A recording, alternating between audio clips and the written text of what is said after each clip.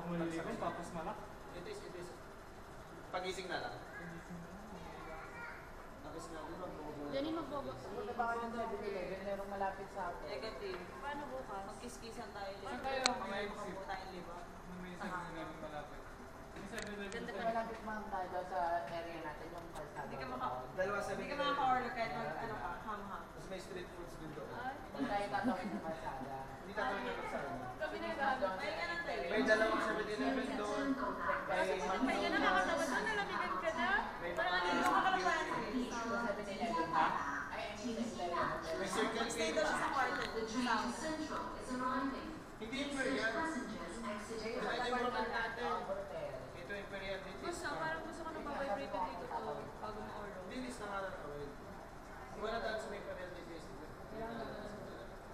Yung mga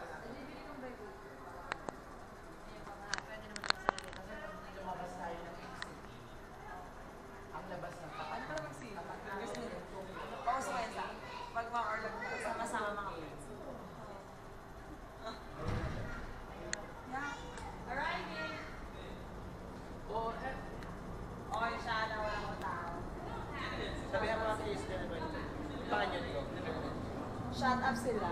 Sorry na.